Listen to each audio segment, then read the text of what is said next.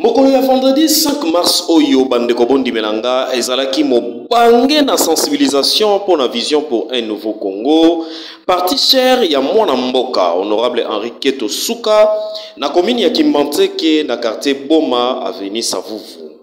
boyeba que campagne oyo ezalaki mpo na koadere plus de membre na kati ya vnc mpo na vision na yango tambola lolenge elongobani bongo babandaki na eglise kimbangiste batamboli makolo makolo mpo na kokóma kino na mai ya ntsanga kaka ndenge ezalaka bongo boyeba ke ekipe show ya vnc ememamaki na coordonnateur felixe bokite kaka ndenge ezalaka boyoka ye ndenge apeseli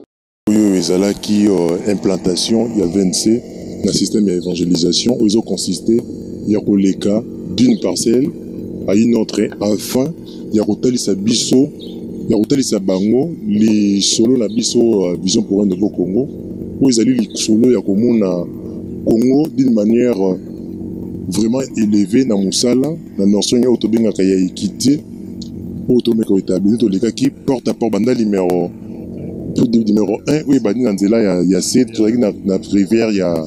ya, ya, nsambu, ya, ya sanga pembeni na mai wana tomati ti na makadam ti kote ya, ya église euh, imbangiste donc toleki porte à porte tokutani ce qui est vraiment ce qui nous a beaucoup touché on n'a pas trouvé des effets euh, mélancoliques Nous, c'est la nostalgie de voir que non, ah, les garçons question, ah, les papas question, on a vraiment une fille à, à combien naye, azalaki na biso tout consort là, et ça les biso bien, ya komona muntu, oyo yo, ton dimi azala liboso na biso, azala ba témoignage oyo ezali vraiment louable, donc mpo na biso epesi biso esengo ya kosala mosala ya kocontinue lo tobandaki na savubu ya kobanda banda numero 1 ntina numero 105 esika mosusu bandeko na ngai bondima ete charge ya implantation alobaki mpe kaka mpo na kotalisa ndenge nini masolo oyo ememamaki mokolo ya vendredi mpe kotalisa ndenge nini lisusu bandeko ya communication bayebaki na kosala oyo ezalaki bongo mosala na bango par rapport ya descente na biso sur terrain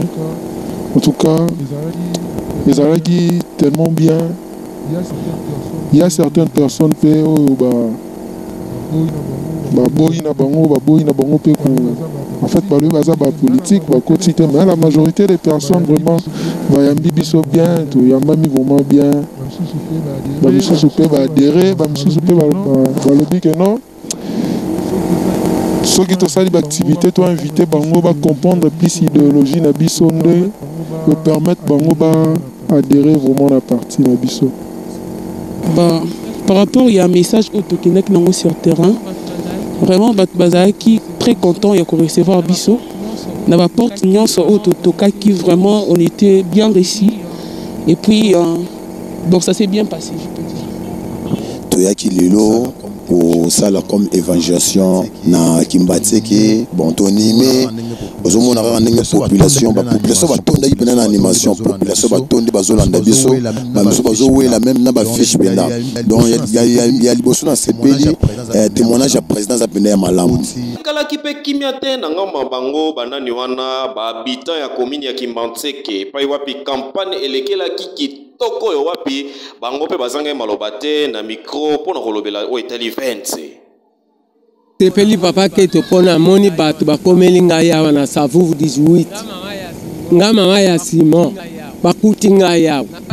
antuka topesi merci na nzambe ndenge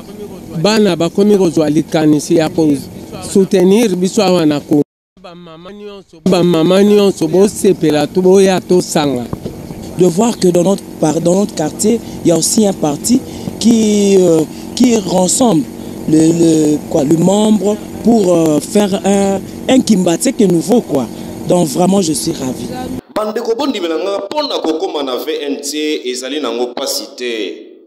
po soki okomi kaka na apocalypse 22 na commune ya masina otuni kaka immeuble tyrannus omati ti na 3e niveau bongo okomona bureau ya vision pour un nouveau congo oyo tobengi na mokuse vnc moto alingi kokomela bango na nzela ya site yebake obeti kaka 3w vnc officiel info okozwa bango mobimba Question pour un nouveau Congo, parti politique cher ya mwana mboka Henri Keto Suka azali koyebisa bongo na bandeko nyonso ete porte na ye ezali ouverte mpo na bino nyonso oyo bolingi mboka mpe bolingi ekite mpe développement ya mboka na biso République démocratique du Congo azali wana mpo na koyamba bino enfin que lobi Congo ezala Congo ya sika mpe lobi ezala mokolo ya sika boyoki